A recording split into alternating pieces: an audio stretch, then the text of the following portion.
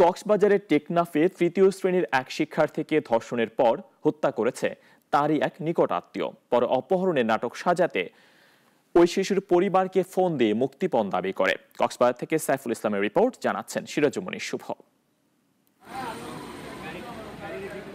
কক্সবাজারের টেকনাফে মাদ্রাসার নয় বছর বয়সী শিশুর মরদেহ উদ্ধারের ঘটনায় চাঞ্চল্যকর তথ্য মিলেছে। ওই শিশুকে মাদ্রাসার একটি কক্ষে নিয়ে ধর্ষণ করে আরেক শিক্ষার্থী ও শিশুটির নিকটাত্মীয় মোহাম্মদ এরফান। পরে তাকে শ্বাসরোধ করে হত্যা করে মরদেহ মাদ্রাসার পেছনের একটি নালায় ফেলে দেয়। আটকের পর প্রাথমিক জিজ্ঞাসাবাদে র্যাবের কাছে দায় স্বীকার করেছে ঘাতক এরফান। র্যাব জানায়, অপহরণের ঘটনা সাজাতে শিশুটির পরিবারকে কয়েক দফা ফোন দেয় খুনি। তার পিতা মাদ্রাসাটির ভাইস প্রিন্সিপাল। বাবার কক্ষে নিয়েই শিশুটির উপর বর্বরতা চালায় এরফান।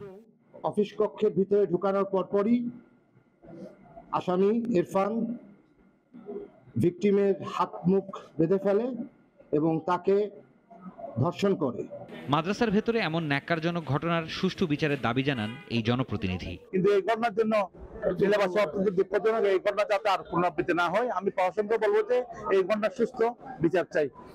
এর আগে বৃহস্পতিবার সন্ধ্যা ছয়টার দিকে বাড়ির সামনে রাস্তা থেকে ওই শিক্ষার্থীকে অপহরণের অভিযোগ ওঠে।